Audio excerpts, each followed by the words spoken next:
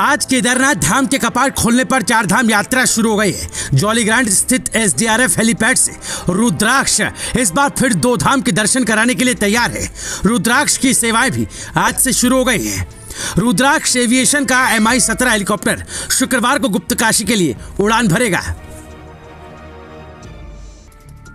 जहाँ से छोटे हेलीकॉप्टर के ज़रिए यात्रियों को केदारनाथ पहुँचाया जाएगा, वहीं 12 मई से बद्रीनाथ धाम के कपाट खुल रहे हैं। उसके बाद रुद्राक्ष की दो धाम की सेवाएँ आरंभ हो जाएँगी।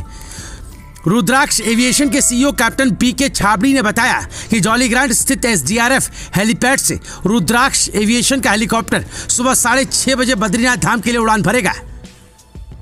हेलीकॉप्टर सुबह साढ़े सात बजे बद्रीनाथ धाम में पहुँच जाएगा। इसके बाद यात्रियों को दर्शन कराने के बाद यह हेलीकॉप्टर सुबह साढ़े दस बजे केदारनाथ धाम के गुप्त काशी में पहुंचेगा। वहीं यात्रियों को केदारनाथ धाम में दर्शन करने के पश्चात वापस करीब चार बजे शाम को हेलीपैड पर पहुंचेगा।